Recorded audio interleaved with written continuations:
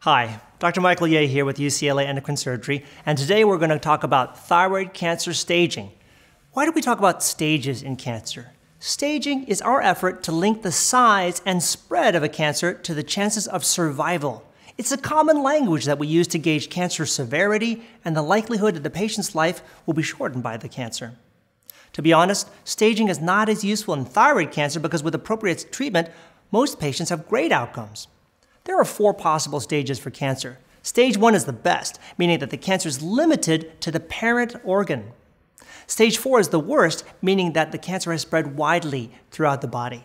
For thyroid cancer, if you are younger than age 55 at the time of diagnosis, you can only be stage 1 or 2. There is no stage 3 or stage 4 because the chances of dying from thyroid cancer are so low in that age group.